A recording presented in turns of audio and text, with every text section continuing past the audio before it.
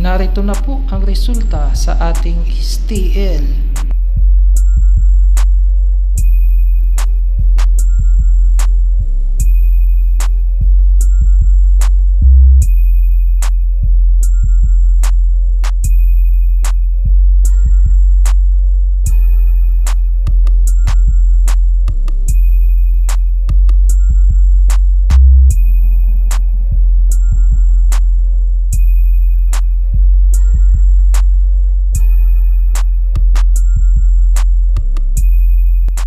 Congratulations po to all the winners.